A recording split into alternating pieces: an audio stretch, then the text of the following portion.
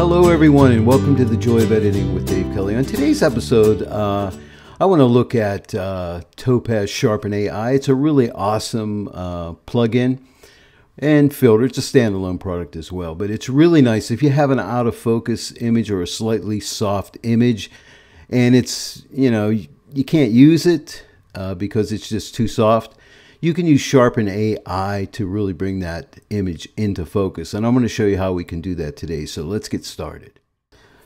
So I have this uh, image of this butterfly here, and it's a really good looking butterfly. And I used a, um, I used a very uh, shallow depth of field in this uh, image to give me a nice uh, blurry background here. And I really like that, but the image is slightly soft. Let me zoom into the image so you can see.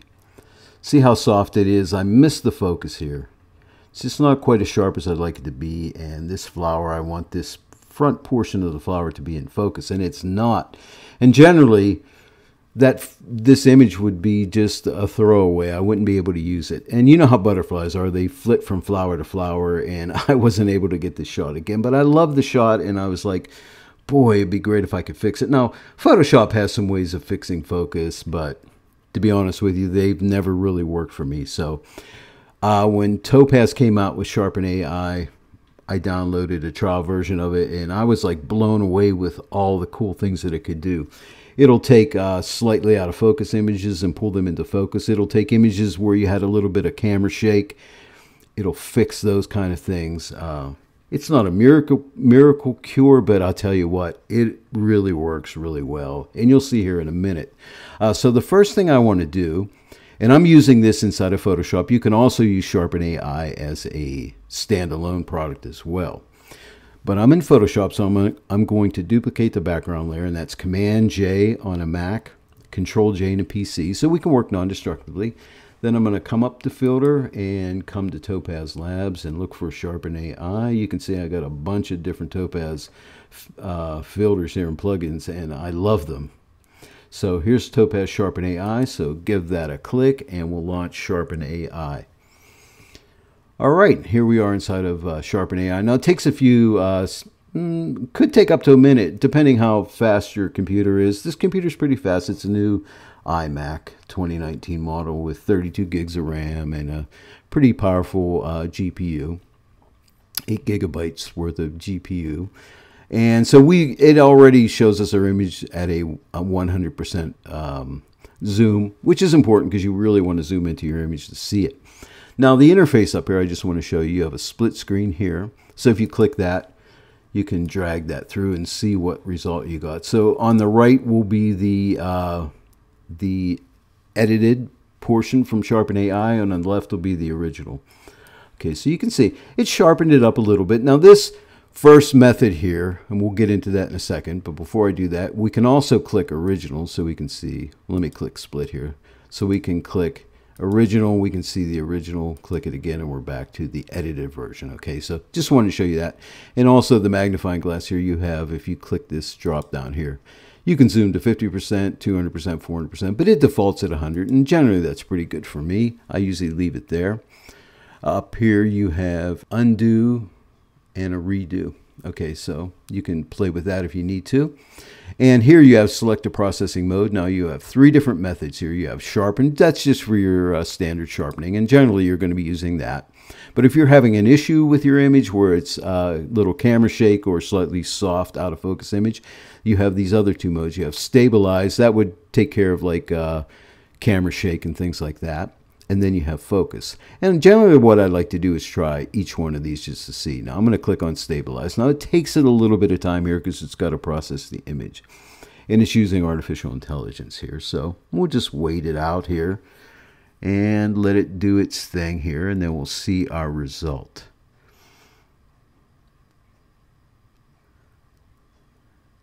It's a rainy day here in Pittsburgh, PA. Not a big fan of the rain, but uh, it's a good day to do some processing when it's raining. Get caught up in all the work that you wanted to get done, but you didn't have time to do it because you're out shooting. Okay, so this is a good opportunity to take to do that. All right, we're almost done here. And this is the stabilized version. So let's click on the split screen here. And so there is the before. And now let me slide this through. Okay, and here's the after. As you can see, it's it's better than the sharpen uh, method, but it's still a little bit on the soft side and still unusable for me. Now you do have some sliders up here where you can click remove blur and make it a little bit sharper that way. You can also move this suppress slide suppress noise slider to the right and remove some noise. I've already denoised this before I started and you can add some grain if you needed to. And you can do an auto adjustment. Now I have it set up that when I bring it into uh, Sharpen AI, it automatically does the auto adjustment. But then you can come here and alter it if you'd like. All right. I'm not going to take the time to move this remove blur up. It would get a little bit sharper if I did it, but it still wouldn't be right where I wanted it to be, and it'll take some time to process. So let's go to the next method. And let's click on focus. And a lot of times I'll I'll just try each one of these method, methods just to see what they'll do. Now we'll just wait that out a little bit here. And uh, but I'll tell you, this particular product has saved so many shots for me. I'll tell you, it's well worth the money. It's not a cheap program, but it is truly, truly worth it. All right, so we're at 50%. We're waiting patiently, and soon we'll see if we can save our image, and I surely hope it works. So we're almost there. Let me slide this slider. Let me see if it'll let me move it. It won't let me move it while it's processing. It's too labor intensive. All right, let me slide this over. So we'll slide this to the left. And oh my gosh, look at that. Look at that focus. Look down here on the butterfly here. That is super sharp. Look, look at that. It's so blurry, but now look, it is super sharp.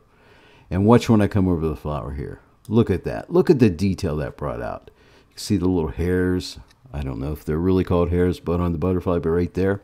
But that is amazing. Now, if I felt I needed more uh, sharpness here, I can take the remove blur and move that a little bit more to the right. But I'm really happy with that. I think that looks awesome. Now, all I have to do is come down to click apply now this processing takes slightly longer than the preview uh, processing because now it's actually baking this edit into the image. So we'll just wait a couple, could take up to a minute sometimes. And again, like I said, this is a faster computer, so it, it it's, it's very uh, processor intensive, but it is well worth the wait. Gosh, I can, I can lose a minute of my day to get an image that comes back to me. So again, this image would have been just a throwaway image, but I like the way the the butterfly was on the actual flower itself, and I like the background, and I thought this is a really cool image, and I'd like to save it if I could. Up till Topaz um, Sharpen AI, to me, there was no way to really fix this image, to really save it. So we're almost there, and we'll be right back into Photoshop here in 10, 9, 8, 7, 6, 5, 4, 3, 2, 1. And final stages, blast off. Now we're back into Photoshop. Let's zoom up into this butterfly here. And look at the detail in there. I mean, it brought all that detail back. It's amazing. All the little hairs around here. Look at this antler. I don't know what you call that. Sorry, I'm I'm very bad at these at naming things like this. I love flower photography, but gosh, I don't know the names of most of the flowers that I take images of. So let's click on layer one's eyeball here. Here's the before and there's the after. Look at the detail of this area right in here and over here. But look at the detail before and after. This image is saved. Let me zoom out. And so now an image that would have been a throwaway is now something I can use. Now I can go ahead and further process this image from here. Well, that's Sharpen AI. It's a pretty amazing uh, filter. I think it's really awesome. It saves so many images for me. You need to maybe uh, download a free trial of it and try it for yourself. See if it's something that's worth it to you. I know it's not real cheap, but uh, it is well worth the money. I really believe it is, and it'll really save some images for you. And it's also great for just uh, sharpening up your images if you've got the focus right in the camera. Sharpen up the images. It uh, does a really nice job and it also removes uh, some background noise and things like that too so it's really nice. If you like this video today please give it a like and share it with your friends. If you're not yet subscribed to my channel please do so and click that bell notification icon. This way you'll be informed of all the new training videos that I that I have coming out. I'm going to be looking at uh, Topaz Gigapixel going to be looking at uh, Adjust AI and uh, JPEG to RAW. We'll look at all those extra plugins. And I'm also going to look at some older plugins that are still available through Topaz, like Topaz Restyle. It's a great one as well.